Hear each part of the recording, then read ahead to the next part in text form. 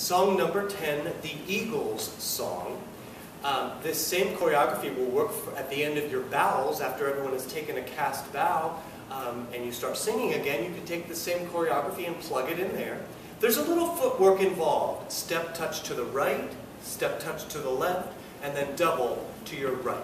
Repeat that pattern, step touch left, right, double to your left. Now I get short and I snap on the touches. Step, touch, step, touch, double. Step, touch, step, touch, double.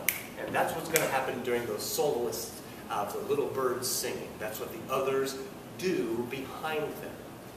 Here we go. We start with our right hand reaching up on beat one. Up, clap, left, clap, double.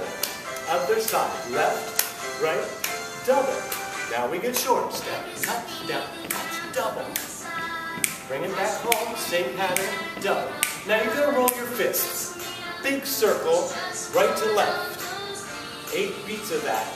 Now the same thing, start left. One, two, double right, left, double. Now roll it with the left, two, three, all the way across. Now we're going to push above same feet. Push,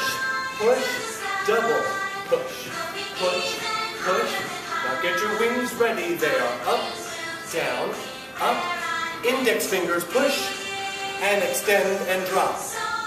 Left, right, double. Other side, right, left, double. And we're flying down, up. Now the intro, right, clap, left, clap, double.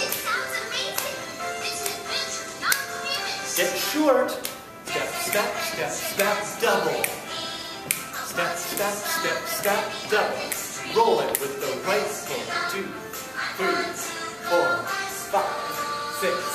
Other way, one, two, double. Bring back and double. Left side this time. Now we're going to do those pushes above with the right, left, double. Touches underneath are the same pattern. Here's your wings, up, down, up, down. Index point to the sky and extend and drop.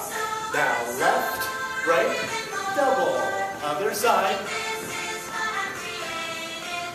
And up, down.